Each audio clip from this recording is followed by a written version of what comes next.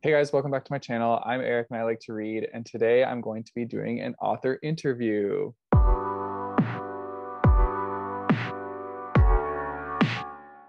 Okay, so today I'm going to be talking to Barnaby Walter, and this is Barnaby Walter. I believe on my screen he's above me. um, so, Barnaby, why don't you introduce yourself? Hello, um, my name is Barnaby. Um, I write under the name BP Walter and I write psychological thrillers. And my most recent thriller is a book called The Dinner Guest, which um, came out in Canada earlier this year and came out in the UK last year. And I actually have it to hand. Isn't that perfect? This is the Canadian edition Ooh. of um, of The Dinner Guest with a very nice cover. Um, I believe there was an export available for a while, potentially of the UK edition, or the ebook might have the UK cover. But I will show the UK cover just in case. But that is the um, the UK cover. Ooh. So um, it will be one of these if you discover the um, book. But um, yeah, it came out in the UK spring last year, and then it was published in Canada in this edition earlier this year. It looks super ominous. Bad things happen.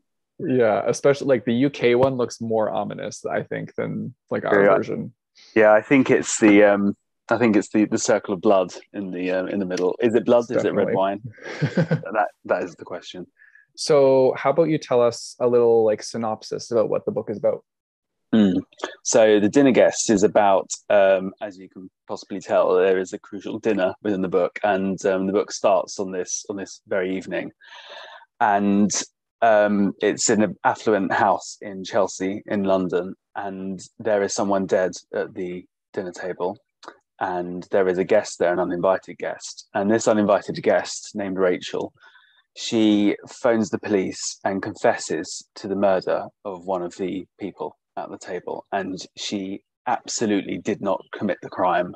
And the other people at the table are completely shocked as to why she's potentially confessing to a crime she absolutely did not commit. And we then go back in time to find out how the main central couple in the book um, got to know Rachel, how she kind of ensnared her way into their lives, and um, how we got to that terrible day um, when um, one of them was lying dead at the at the dinner table. Um, so yeah, that is the central the central idea behind the book. That sounds super intriguing. I'm very like invested now. I need to know what's going to happen here. Um, yeah, that sounds very exciting. So you said that you write psychological thrillers primarily, correct? That is correct. Yes. That is awesome because I love psychological thrillers. Um, what are your other ones that you have written? Well, um, in terms of, I always get a bit shaky as to which ones are published where. Um, but um, I am I'm lucky that my debut um, was published in Canada as well, and um, it came out in the UK in it's hard to remember. I find the pandemic kind of steals my whole sense of time, but um, it, was the, it, was the, year before the pandemic. It was in um, February 2019. My debut came out, and that was called A Version of the Truth. This is the um, Canadian cover of that, and mm. Yeah, with a uh, rather ominous looking woman peering around the corner there. Um, but yeah, that came out in 2019, and um, that's a similar um, sort of in tone in, in terms of it set in a um, in a posh part of London. And um, um, there isn't a murder in that one, but there is a very dark conspiracy that that, that goes down. And then my second book came out probably in the worst possible time a book could possibly come out, which was about four weeks into lockdown and um, that was called Hold Your Breath. I don't actually have the Canadian edition of that one, but I have the UK edition, and I believe the Canadian cover is practically identical. But um, yeah, that was that one, Hold Your Breath. And this one is I think the closest so far I have stepped into sort of horror. It's it's it's a psychological suspense novel, but it does mm. knock on the doors of horror as well. There are exorcisms, so um, yeah, That's this one's set in a, a, dark, mysterious forest in north of England, and um, narrated by a ten-year-old girl called Kitty. And yeah, it's it's quite different from the others, but um, yeah, I really enjoyed writing this one.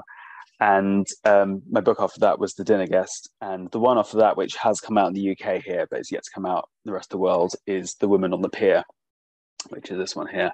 Ooh, um, okay. And my fifth book, The Locked Attic, comes out autumn this year.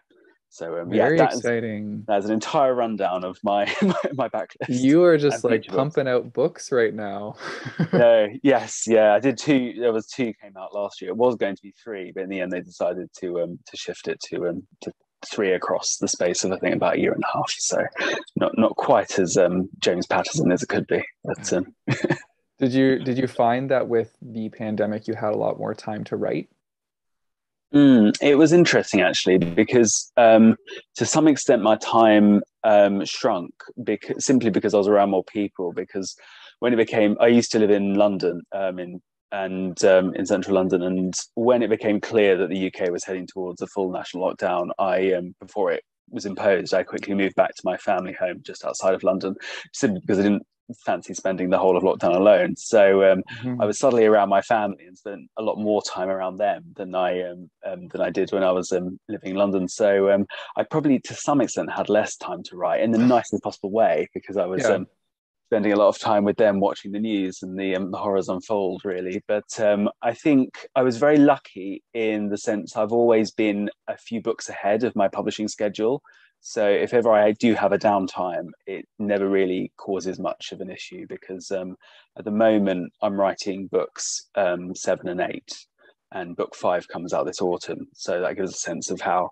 how far okay. along um, I am in terms of them. So I'm very lucky that I've never, to some extent, written to deadline. If that makes sense, um, it's it's more that um, they're kind of waiting there on the hard drive for when um, the publishers need them. Right on. So I guess that jumps into my next question. And if you don't mind me asking, are you traditionally published? I am, yes, and published by HarperCollins in the UK, US, and Canada.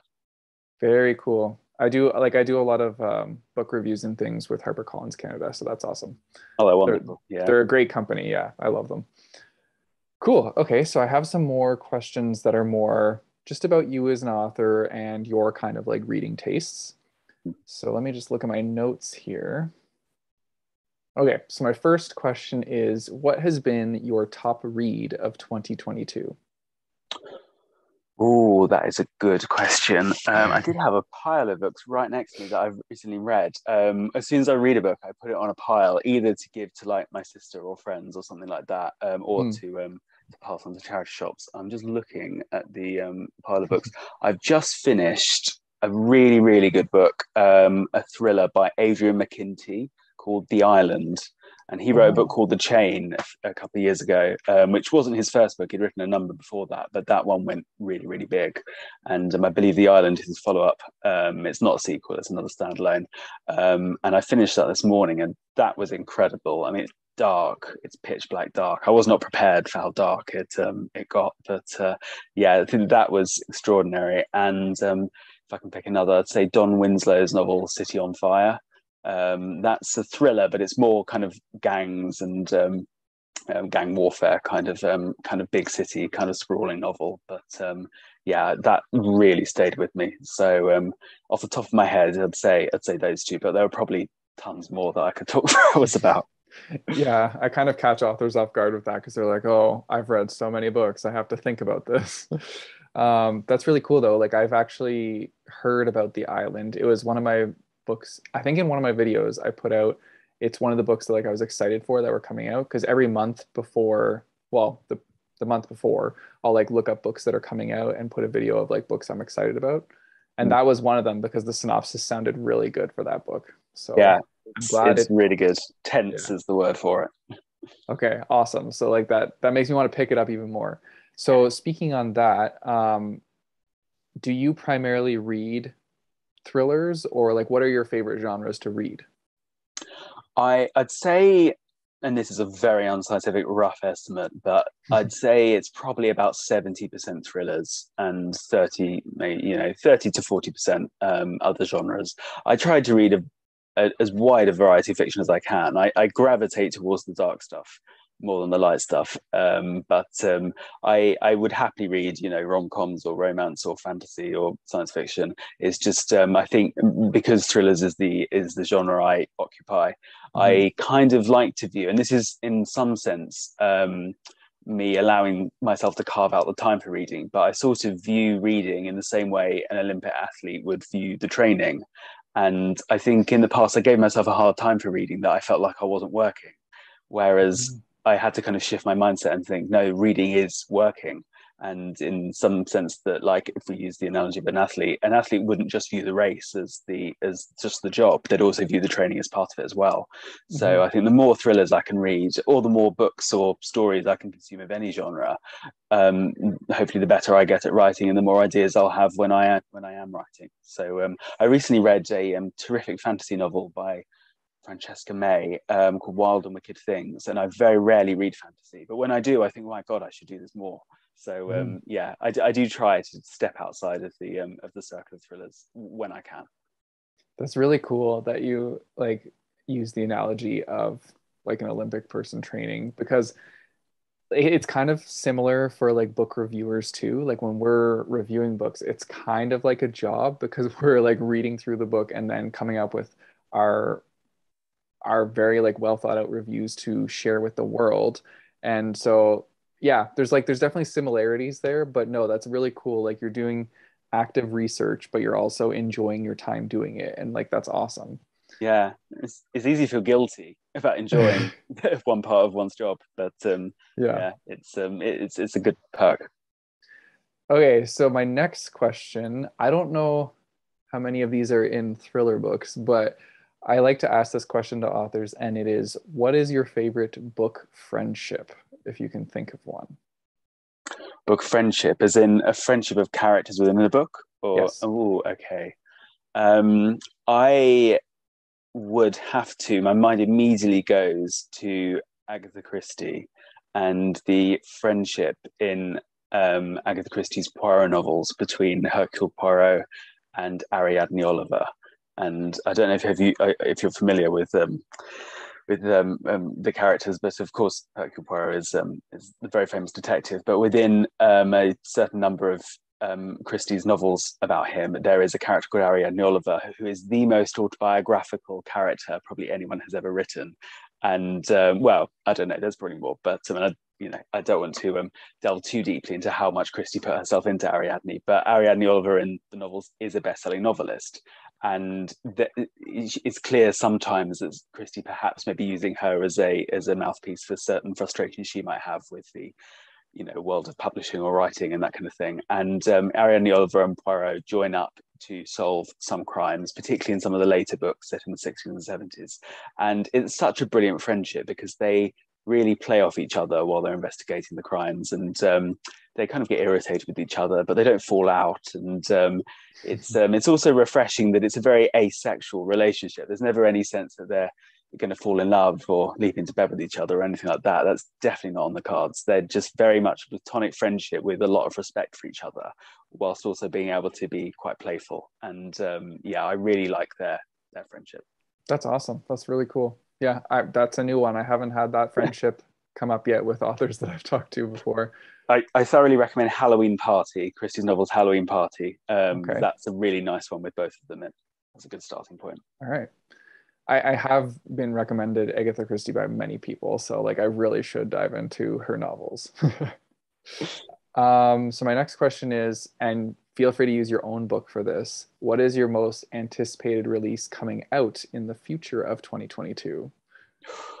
Goodness. Um, well, aside, of course, from from the locked uh, the Locked Attic, which comes out in November, um, I would. Oh, it's really difficult because um, I have a heap of advanced proofs of books that that are coming out on my shelf, and I'm just looking um, at them right now so I can remind myself of what because it's really difficult because I get sent these proofs I completely forget when they actually come mm. out and mm. when they have already been published. Um, Helen Fields is a terrific crime writer. Um, her book The Last Girl to Die that comes out in the autumn and um, Under the Marsh um, by J.R. Halliday. They're two two great crime novels that um, will be coming this either this summer or this autumn. So yeah, I'll go with those. Sounds very exciting. okay, so, since you're saying that you have piles of books all around you, I'm curious to know if you know how many books are in your current TBR pile. There are, I'd say, immediate TBR pile, and then there's what mm. I hmm. kind of um, view as like the legacy TBR pile, which is where um, there's there's a brief story actually behind this. I used to work in um, I used to work for the UK book chain Waterstones for their mm-hmm. head office, and I used to do the social media for Waterstones. And when lockdown hit, um, the social media photography, so all the Instagram pictures of nice new books and that kind of thing, had to change from me doing it in the office to me doing it in my home. And so the deliveries of books were kind of redirected to my house, and I would receive tons of books from publishers constantly, week after week.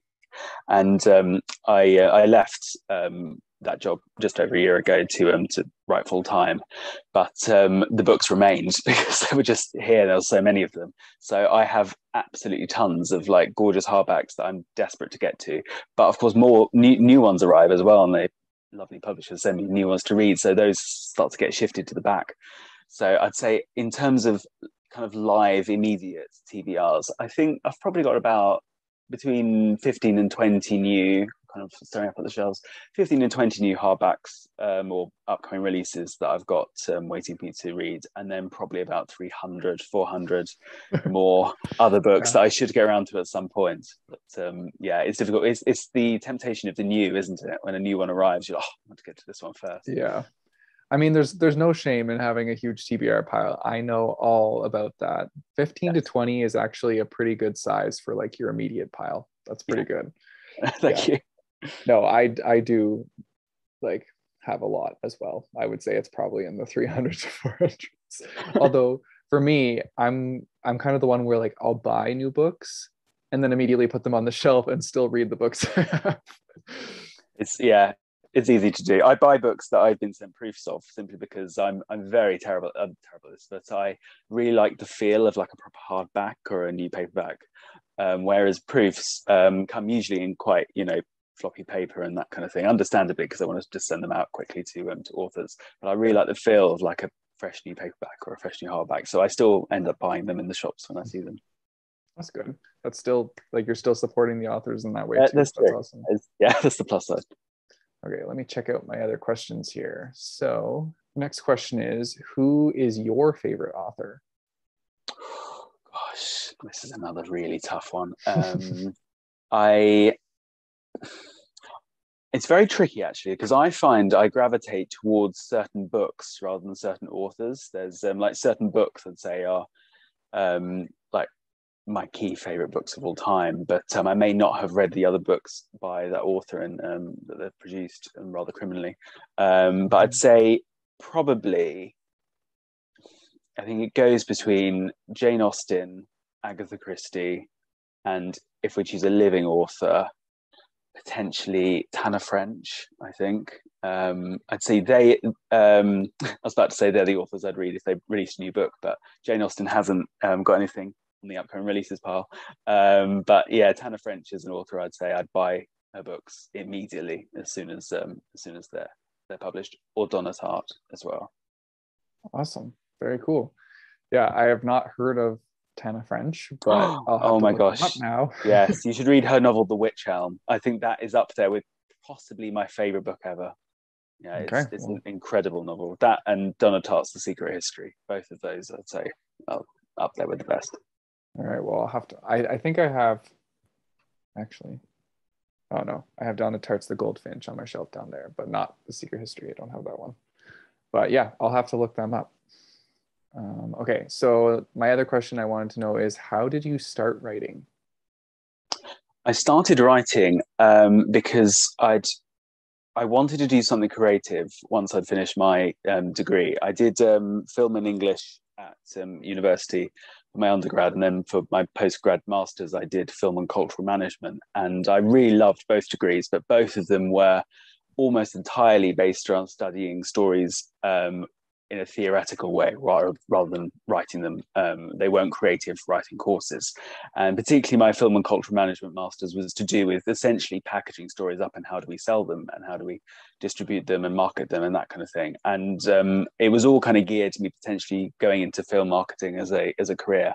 But I kind of knew that I wanted to make up stories myself. And um, part of me was to continue down the film route and potentially go into film production. But um, film production, of course, involves a lot of other people's time and money. Whereas if it's just you writing a book, it is just your time and money you're you're using mm-hmm. or potentially wasting. But um, of, of course, it's it's never a waste. But um, I I found the idea of writing a novel less scary than necessarily than making a film. So I came up.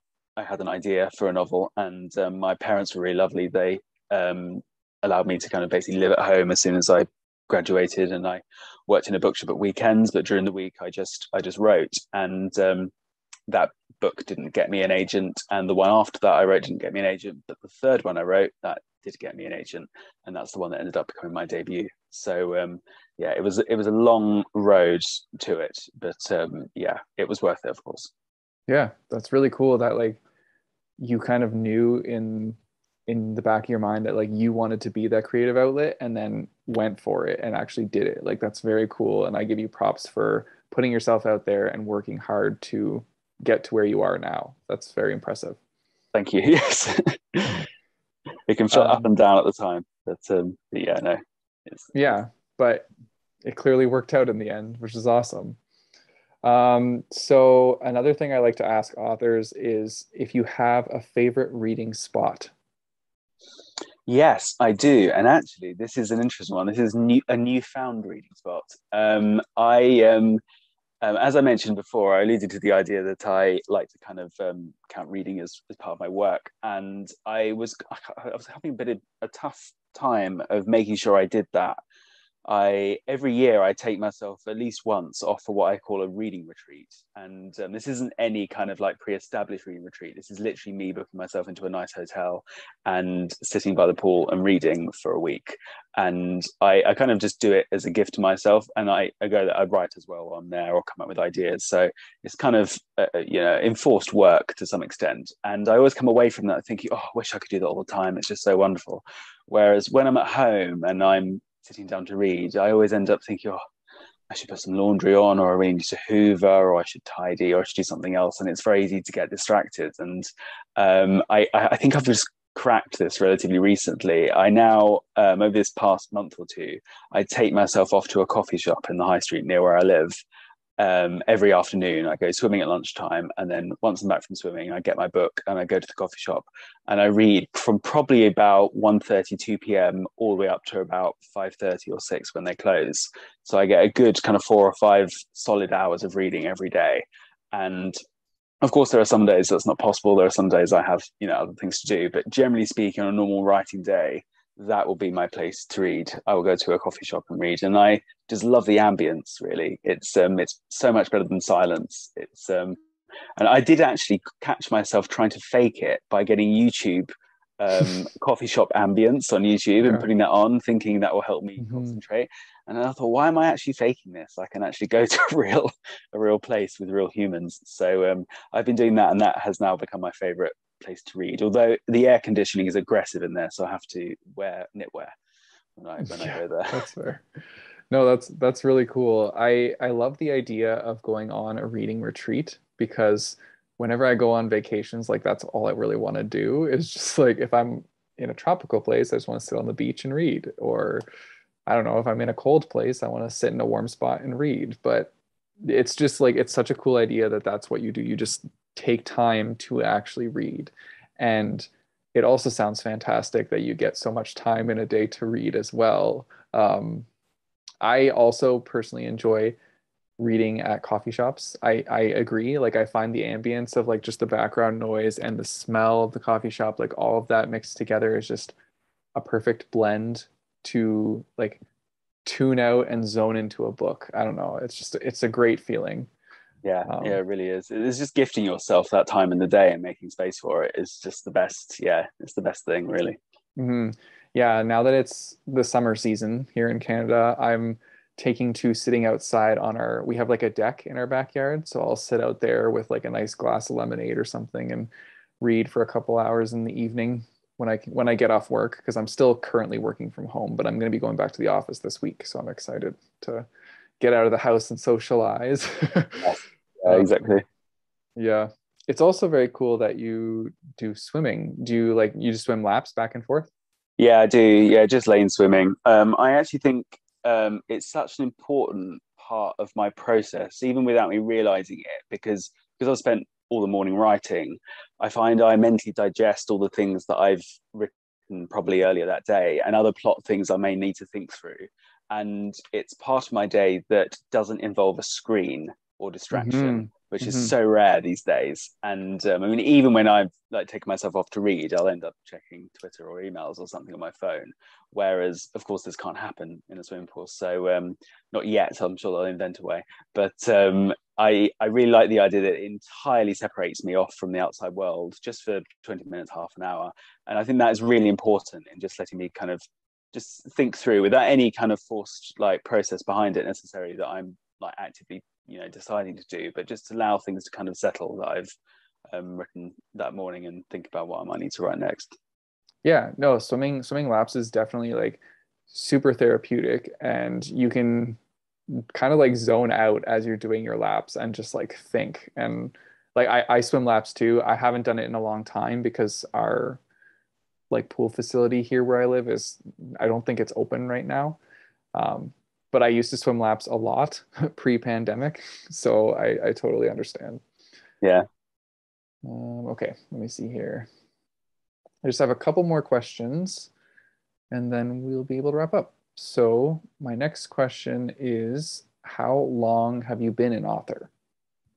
I've been an author since um, I've been a published author. I'm trying to think. I I got my publishing deal in uh, my first book contract in 2018, and my debut came out the following year. So it took about a year on from um, from the contract being signed. So yeah, the first book came out in 2019, and um, as I said, the pandemic has just kind of shifted my whole perspective of time. But I think that makes it about about three years. I think um, yes, yeah, it's just over three years. Next question is what do you like about reading? I like the fact that it um, it enables or at least provides a p- space to confront experiences, events, situations, characters um, that I almost definitely won't encounter in, in my own life. And um, some of them I will, but um, there'll be many experiences or types of people or situations or even settings or countries that I, you know, will never encounter. And it, it provides a place for that to be encountered and also within the safe space of pages that can be closed if one wishes.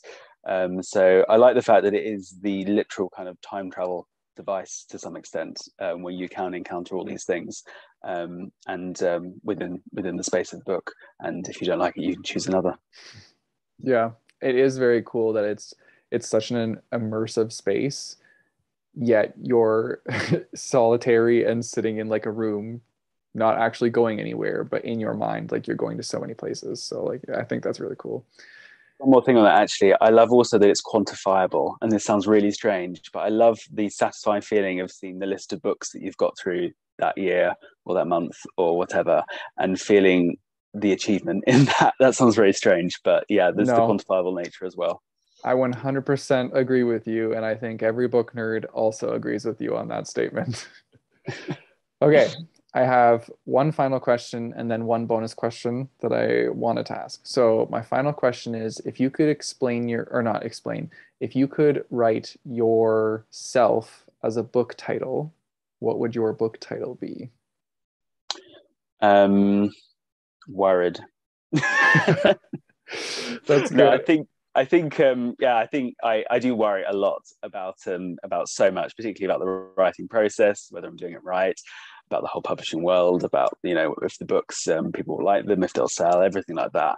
And but to some extent, that I think is what makes good fiction, particularly good thriller fiction, is that um, it's it's like that thing about it allowing space to be like to confront things one might necessarily won't like, and um, all of fiction to some extent is conflict and doubt. And um, in in our lives, we're frequently being pushed towards kind of yes and no, right and wrong. Everything's very kind of like these very set categories. Um, whereas, of course, life isn't mm-hmm. actually like that, and thrillers allow people to experience that doubt and that worry and you know everything like that on the page. Um, so, yeah, I'm ho- hopefully that doesn't sound like too much of a negative um, negative word. Optimistic. Hopefully, we'll go with that one instead. Optimistic. No, that's that, that's good. That's totally fine. Lots of authors will give like the most random answers for their book title, and a lot of them are adjectives. So that's totally fine. Um, okay, so my last bonus question was because you have such a prominent candle collection behind you, I have to know what your favorite scent is. I think, um, and I don't think it's behind me. Um, oh, there's two, and I'll go with the other one. One of them is called Haunted Hayride. They're both Halloween scents. One's called Haunted Hayride, and because um, we don't we don't have these hayrides in um, in the UK. Do you have hayrides in Canada? Yep, we do. I'd never heard of them until Yankee brought out a candle called Haunted Hayride, and then I googled and they found they were things done at kind of market festivals and um, Halloween things, and then I d- discovered them in Hallmark movies, so I now know what they are. Um, but Haunted Hayride is this amazing kind of vocative, kind of um, mystical scent. It's very kind of woodsy. Um, whereas this other one, this is my other favorite, is Trick or Treat, and you can see Ooh. the cat there and a nice pumpkin there, and this one's like really spicy. It's sweet, but it's got a spicy kick to it. It's slightly piney, but cinnamony. And this for me is the absolute scent of autumn. And autumn is like my favorite favorite season, um, and Christmas, but they kind of lead into each other. But um, but yeah, I'd, I'd have to probably go with um with Trick or Treat. I think. Okay, right on. autumn is a great season. Yes. Um, okay, so well, with that, I guess we'll wrap up. So thanks for joining me on my channel and very much for having me on. It's been lovely. Yeah, no, it was great. It was really cool getting to know you more as, as an author. And I'm very excited to see what your books are like. Um, so with that, everybody that is watching, I will put all of Barnaby's stuff in the description down below. So like all the information to get his books, so you can check that out as well.